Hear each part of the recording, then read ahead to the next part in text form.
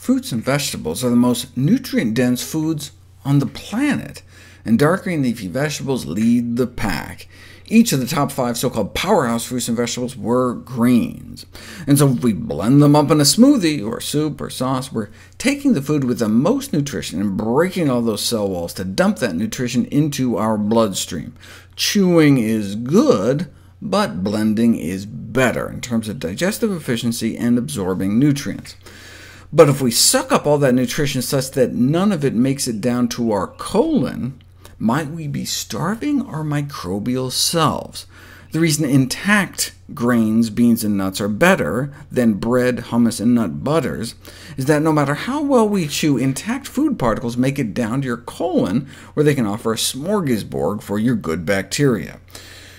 But if your grains, beans, and nuts are finely ground up into flour or paste before you eat it, you may be leaving your gut flora high and dry. Would the same be true for fruits and vegetables? There are special classes of phytonutrients in fruits and vegetables that appear to protect against colon cancer. They can escape digestion and absorption in our stomach and small intestine and end up in our colon to act as prebiotics. Uh, no matter how much we chew, they stay attached to the fiber.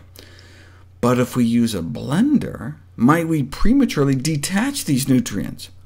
No. Even if you blend in a high-speed blender for 5 minutes, they remain bound to the fiber for transport down to your colon bacteria. You can do smoothie experiments on people with ileostomy bags that drain the contents of the small intestine and show that most of the polyphenol phytonutrients make it out intact. So we don't have to worry we may be robbing Peter to pay Paul when we blend fruits and vegetables.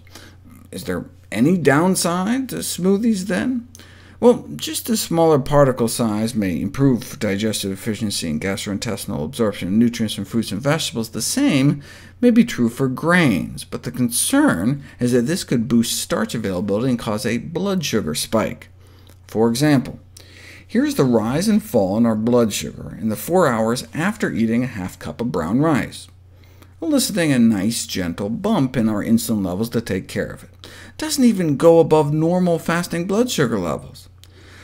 But what if we ate the same amount of brown rice, but first ground into brown rice flour, so like a cream of brown rice hot cereal?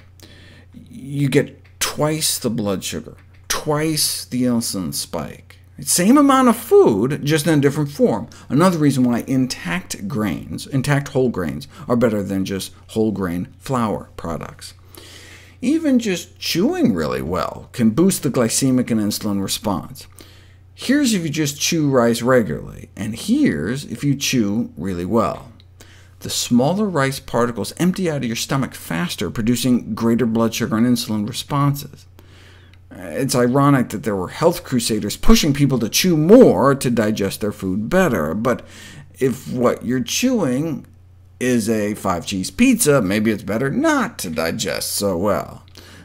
Some have even suggested that diabetics and obese persons not chew their food so much. Uh, swallowing diced food without chewing would not only reduce the pleasure of eating, though, but people could choke on it. Still, though, they suggest could be a simple way to allow patients to reduce their blood sugar levels without fundamentally altering their diets, and may thus prove more acceptable than having to do the unthinkable, eat high-fiber foods like beans, which have been shown to blunt blood sugar spikes. Even blended beans like hummus?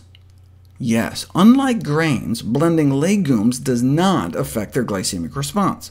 So, circling back to the smoothie question, is fruit more like grains, or more like beans. If you liquefy fruit in a blender to make a smoothie, do you risk spiking your blood sugar too high?